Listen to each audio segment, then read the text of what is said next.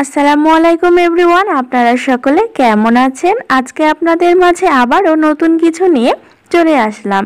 আজকে আপনাদেরকে কোনো সেলাই দেখাবো না, আজকে একটা সিম্পল ডিজাইন আঁকিয়ে দেখাবো। আর তার সাথে কিছু টিপস শেয়ার করব, যেগুলো আশা করছি আপনাদের কাজে লাগবে যারা হাতের কাজের ডিজাইন পছন্দ করেন তাদের জন্য। চলুন শুরু করা যাক। এখানে আমি প্রথমে রাউন্ড গলার শেপ দিয়ে নিয়েছি। এখানে মনে হচ্ছিল যে রাউন্ড গলা করলে ভালো লাগবে, কিন্তু তারপরে মনে হলো যে এখানে একটুখানি যদি ডিজাইন করি তাহলে ক্ষতি কী? সেজন্য এখানে আমি কোনা করে আরও একটু সুন্দর করে ডিজাইন আঁকিয়ে নিলাম। এবার এখানে এর ধার দিয়ে আমি আরও একটা টান দিয়ে নিব একদম গলার মতো করে, যেভাবে আঁকিয়েছি ঠিক একই রকম ভাবে। এবার এখানে চওড়া করে আরও একটা দাগ দিয়ে নিব। এখানে আমি এইভাবে কয়েকটা দাগ নিয়ে নিব, যাতে গলাটি দেখতে সুন্দর লাগে। আর আমি যে ডিজাইনটি দেখাচ্ছি, এই ডিজাইনটি একদমই সিম্পল। যে কেউ একবার দেখলেই আঁকিয়ে নিতে পারবেন। এবার আমি চাচ্ছি এর ভেতরে পাতা দিয়ে দিতে, তাহলে দেখতে ভালো লাগবে। সেই জন্য এখানে আমি এর ভেতরে পাতা শেপ দিয়ে নিচ্ছি।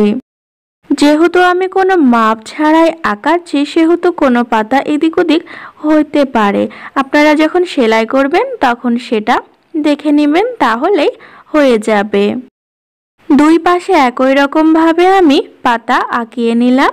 এবার এখানে আরও একটা বর্ডার করে দিয়ে দিব তাহলে দেখতে ভালো লাগবে।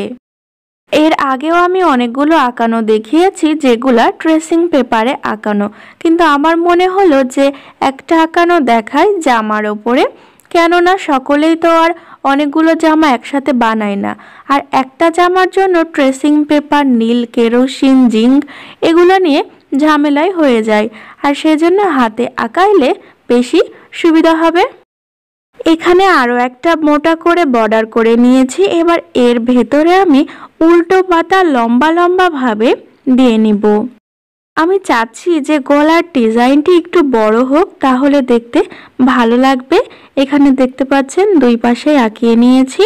এবার এইখানে আরও একটা বর্ডার দিয়ে নিলাম। আর এখানে যে বর্ডারগুলো দিচ্ছি, এগুলোর জন্য সেলাই করব আমি মাছ কাটা সেলাই। আপনারা চাইলে সুজনি সেলাইও দিতে পারেন।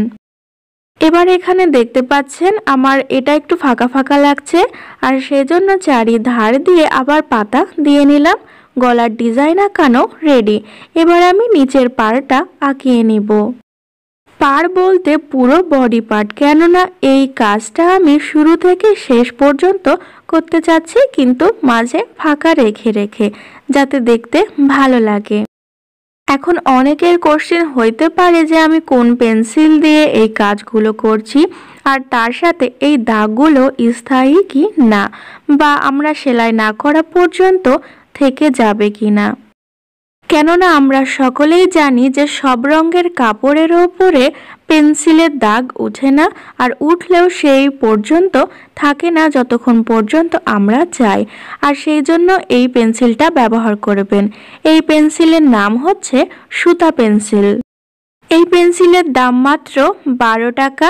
যে কোনো সুতার দোকান অথবা খাতা কলমের দোকানে এই পেন্সিলের নাম বললেই দিয়ে দিবে।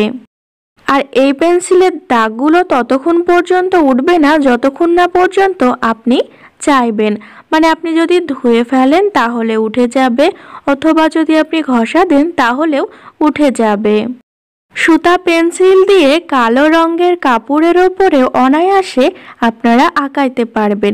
এই একটা সুবিধা আছে। প্রথম দিকে আমি যখন এই পেন্সিলের নামও জানতাম না বা কখনো দেখেও ছিলাম না, তখন আমার কালো ড্রেসগুলো আঁকানোর জন্য অনেক অসুবিধা হয়ে যেত পেন্সিল দিয়ে অল্প অল্প করে আঁকাইতাম আর সেলাই করতাম। কেননা, জিঙ্ক দিয়ে সবসময় একটা কাপড়ের জন্য ভালো লাগে না। এখন এই পেন্সিলটা পাওয়ার পরে সুবিধা হয়ে গেছে। এখন যখন সখন আঁকিয়ে রেখে দিতে পারি। যতক্ষণ না আমি চাই, ততক্ষণ উঠে না দাগ। তাহলে আপনারা ডিজাইনটি আঁকানো দেখতে থাকুন। আশা করছি ভালো লাগবে। আর অবশ্যই এই ডিজাইনটি আঁকানো দেখা শেষে আমার চ্যানেলটি ঘুরে আসবেন। অনেক সুন্দর সুন্দর ডিজাইন আঁকানো, জামার ডিজাইন, সেলাই ভিডিও দেওয়া আছে। আশা করছি ভালো লাগবে। আর যারা নতুন তাদের উপকারে আসতে পারব।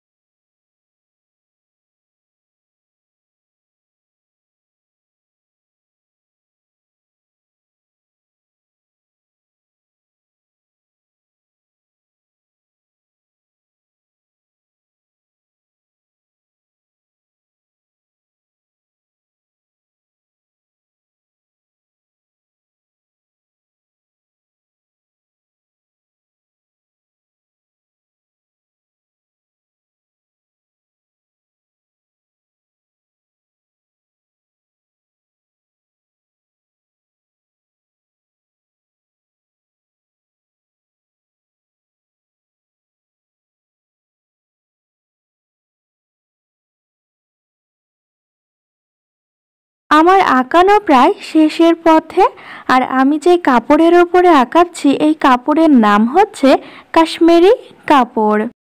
এখানে দেখতে পাচ্ছেন সম্পূর্ণ ডিজাইনটি আঁকানো হয়ে গেছে। আঁকানোর পরে কেমন লাগল অবশ্যই আমাকে জানাবেন। তার সাথে আমার চ্যানেলে নতুন হলে সাবস্ক্রাইব করে সাথে থাকবেন। এইটা হচ্ছে পিঠে আঁকিয়েছি, খুব বেশি ঘন দিইনি, ছোট্ট করে আঁকিয়েছি। আর এটা হচ্ছে হাত হাতটাও সিম্পল করেই করেছি। তাহলে ভালো থাকুন সুস্থ থাকুন। ধন্যবাদ। আল্লাহ হাফেজ।